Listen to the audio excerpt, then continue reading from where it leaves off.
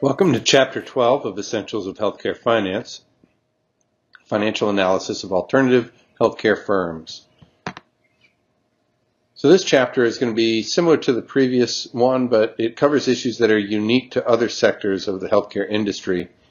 In particular, this chapter covers the following sectors, nursing homes, medical groups, and health plans. It includes detailed coverage of how their revenue sources differ from that of hospitals. Then also covered are some of the tools and concepts that are helpful for analyzing their financial condition and for understanding their operating environment.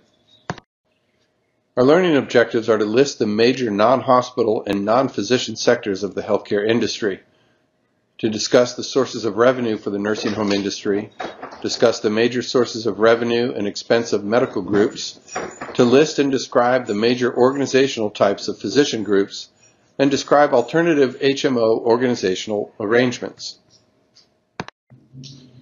So for alternative non-hospital healthcare firms, financial measures and concepts discussed in Chapter 11 apply, but there are different sectors within the healthcare industry that have different operating values and standards.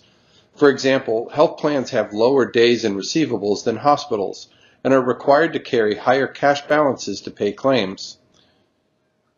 Three major alternative healthcare sectors that we will consider here are long-term care facilities and nursing homes, medical groups, and health plans. Table 12.1 shows financial ratio medians from 2015, and it shows across the top the various types of um, healthcare entities, nursing homes, health insurers, and hospitals. And here you see the liquidity, days in receivables, as they vary across each of those um, uh, components. And you can follow along uh, to the different uh, categories. Long-term care facilities and nursing homes have been growing in the last decade as baby boomers reach the age of 75 plus years. In 2015, uh, 15,827 nursing homes in the United States. Of those, 68% are investor owned or for profit. So many investor owned nursing homes are part of large national chains such as Kindred Healthcare or Sun Healthcare Group. And nursing home care is heavily financed by the government through Medicaid.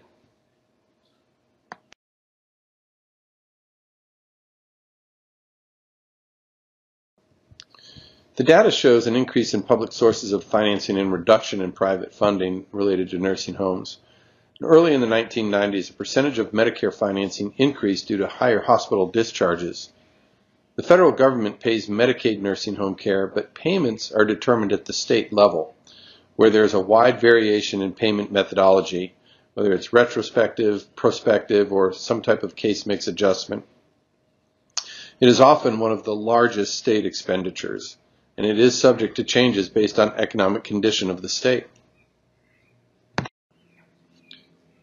There's a wide variation in nursing home supply by state. Most states control nursing home care supply and expenditures via licensure laws and certificate of need laws, and the payment rates for Medicaid patients. Restrictive state policies may influence where investor-owned chains operate. Many nursing homes are becoming continuing care retirement communities, or CCRCs, where they provide a continuum of care from independent living to assisted living to skilled care. They market themselves to HMOs that want to cover more residents of CCRCs through Medicare risk contracts. Often residents progress through three levels of care, independent living, then to assisted living, and ultimately at skilled care. Many CCRCs also have specialized units such as Alzheimer's or stroke programs.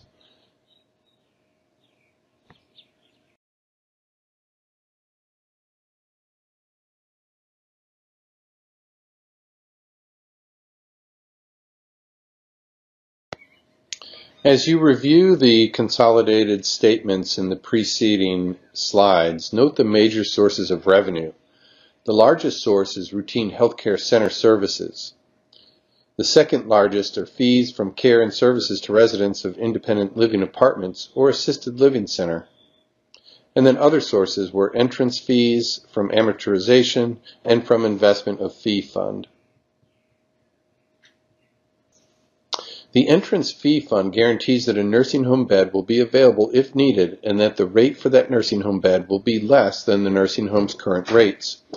It represents funds available to meet contractual commitment to provide future care to residents and may be based on age at entrance and is amortized as income as the patient ages or dies. The expense structure is similar to other healthcare providers. Salaries and wages constitute greater than 50% of total expenses, and depreciation is not shown in the, in the expense section, but it is separately shown as another expense, which is common for not-for-profit CCRCs where replacement of existing assets is not an operating expense. Now let's move on to medical groups.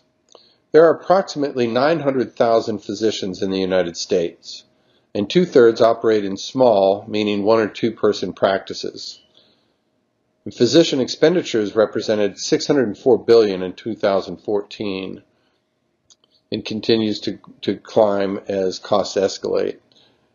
Physicians play an important role in controlling healthcare costs, and the challenge for physicians to realize cost and quality decision making power is rests in small practices.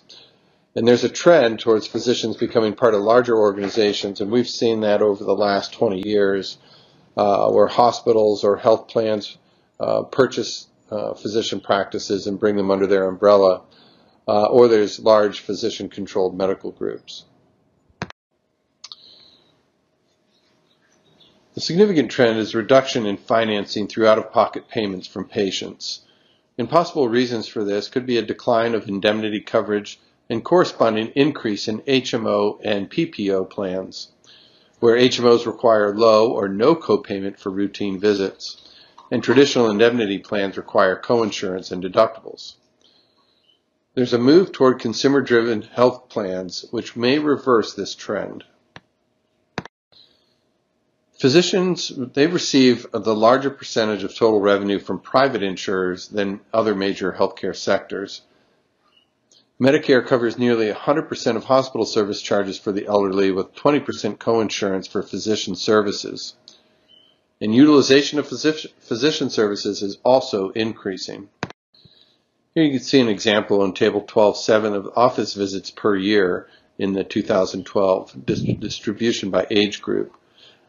And you can see the larger uh, percentage um, is in that 45 to 64 range and we're seeing an increasing as, as the baby boomers continue to age and retire. We're seeing that percentage shift. Physicians may choose to align themselves with other physicians through medical groups or hospitals, health plans, or physician practice management firms. Most physicians prefer to align with other physicians to maximize their control. For large-scale integration, massive amounts of financial and human capital are required. Recently, investors, investors started approving external capital. Hospitals do possess capital to create large physician groups, but are limited investment are limiting investment in this area due to a lack of administrative experience with physician practice management and other different incentives. Health plans also have resources, but they have differing incentives as well uh, which to reduce fees or salaries of doctors and control utilization. Physician practice management firms offer physicians some type of profit sharing and equity stake in the firm, often acquire physician practices and provide physicians with strong autonomy. Most Americans are covered by either public insurance, private insurance, or a combination of both.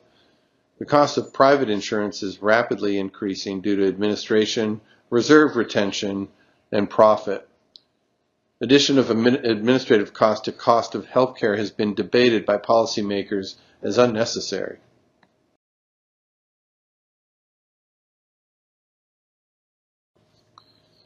There are many types of healthcare insurance companies, be it commercial, Blue Cross Blue Shield, or health maintenance organizations.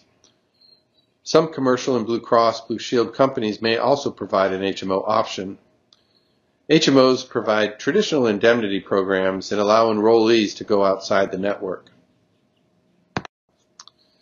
Managed care is simply a system that integrates financing and delivery of healthcare services to enrollees. The most common examples are HMOs and PPOs. A PPO is more flexible than an HMO to allow more provider choice. The HMO financial structure shows a small percentage of assets that are invested in property, plant, and equipment. The majority are in cash and investments. Consider this example. Net income and expenses are influenced by member months on a per member per month basis. Administrative expenses increased, and that may be due to higher rates per hospital visit or higher utilization.